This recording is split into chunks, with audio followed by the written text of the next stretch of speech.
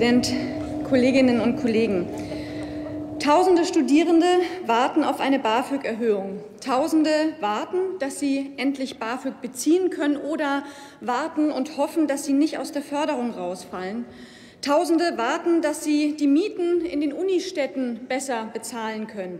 Zahllose Schulen warten darauf, saniert zu werden. Eltern warten auf Kitaplätze und auf Ganztagsschulen und Lehrerinnen und Lehrer warten auf kleinere Klassen. Und was macht die Große Koalition? Statt einer schnellen, statt einer unkomplizierten Lösung feilt sie an einem Deal ja, aus BAföG-Novellierung und Neuregelung des Kooperationsverbots und löst am Ende keins der beiden Probleme.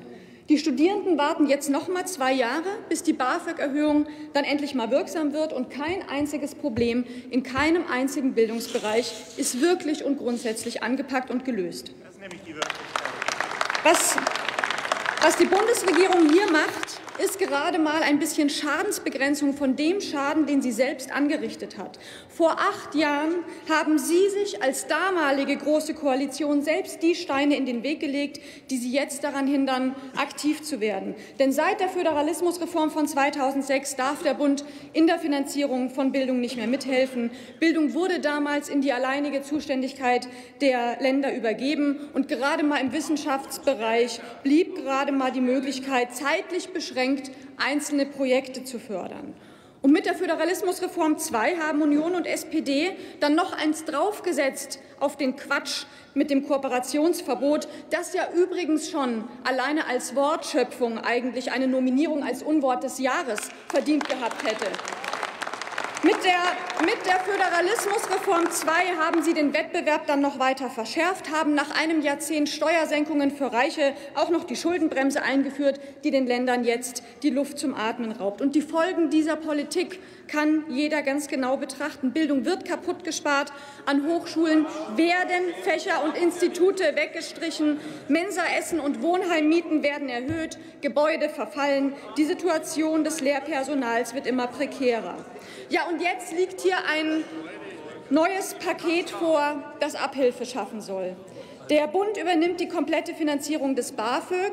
Im Gegenzug sollen die Länder der Lockerung des Kooperationsverbotes zustimmen und die frei werdenden Mittel, die dadurch entstehen, dass der Bund das BAföG übernimmt, die sollen die Länder in die Hochschulen stecken, hat ja auch Frau Wanka gerade ausgeführt. Soweit die Planungen der Großen Koalition. Ja, man denkt zuerst, wenigstens wurden jetzt mal die richtigen Stellschrauben angepackt. Das denkt man zuerst. Aber dann schaut man sich das ganze Konstrukt genauer an und dann stellt man fest, dass Schwarz-Rot, also wenn es hochkommt, die Stellschrauben vielleicht mal lockert, aber sicherlich nicht wirklich dreht. Sie weigern sich doch, an die grundsätzlichen Probleme ranzugehen, an die strukturellen Fehlkonstruktionen, an die chronische Unterfinanzierung. Da gehen Sie nicht ran. Das, was die Koalition hier als Meilenstein zu feiern versucht, ist in Wirklichkeit die Fortsetzung einer kurzatmigen und auch einer planlosen Politik, leider eben mit gravierenden Folgen für Schülerinnen und Schüler, für Eltern, für Studierende. Und das ist das Verheerende an der Situation. Kommen wir doch mal zu den Details. Die Länder sollen jetzt durch die Übernahme der BAföG-Kosten durch den Bund mehr Mittel zur Verfügung haben und sie in die Hochschulen stecken. Aber die Länder setzen die Gelder doch gar nicht so ein, wie es von ihnen geplant wurde. In fast allen Bundesländern, die Angaben zur Verwendung der Gelder gemacht haben, liegen die Beträge, die jetzt zusätzlich in die Bildung gehen sollen, eben niedriger, als es von der Bundesregierung angekündigt wurde. Offensichtlich wird ein Teil der Gelder schlicht dazu verwandt, um die klammen Länderhaushalte zu sanieren.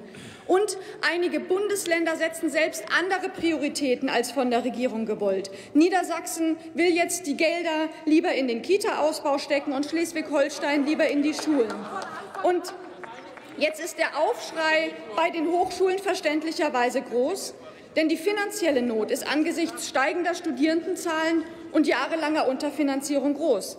Der Präsident des Deutschen Hochschulverbands, Professor Kempen, nannte die Tatsache, dass die Gelder nun wohl zu einem großen Teil eben nicht bei den Hochschulen ankommen werden, schlicht eine Schweinerei. Und ich kann seine Wut verstehen.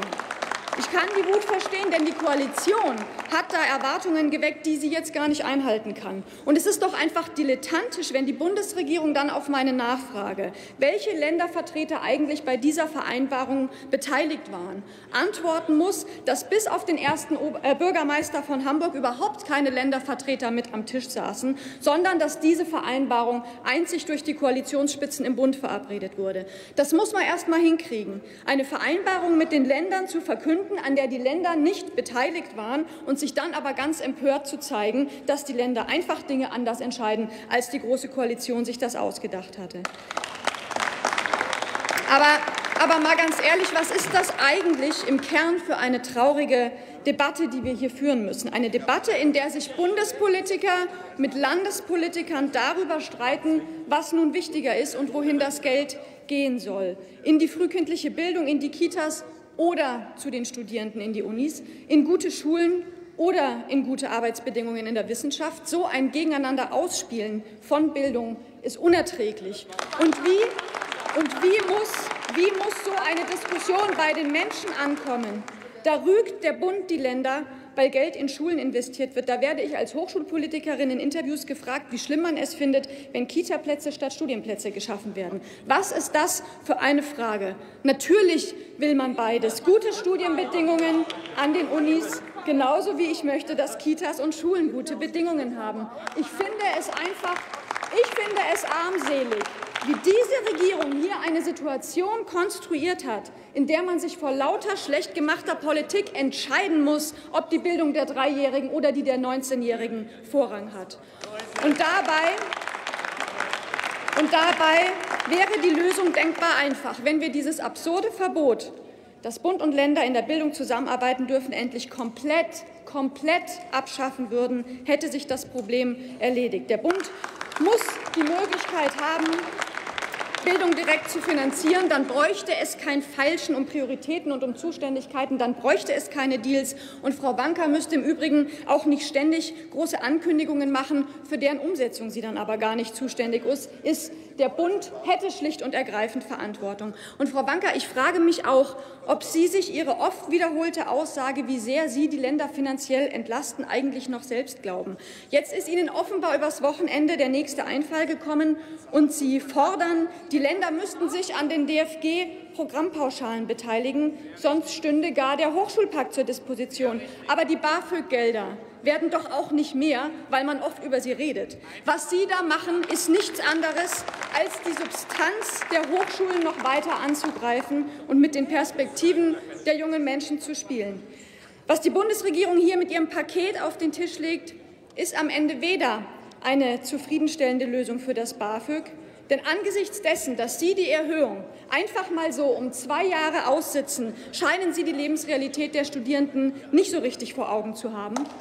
Noch, noch präsentieren Sie hier eine Lösung für die Finanzierung von Bildung insgesamt. Das hätten aber alle, die Studierenden genauso wie die Schülerinnen und Schüler und wie die Kita-Kinder verdient. Vielen Dank.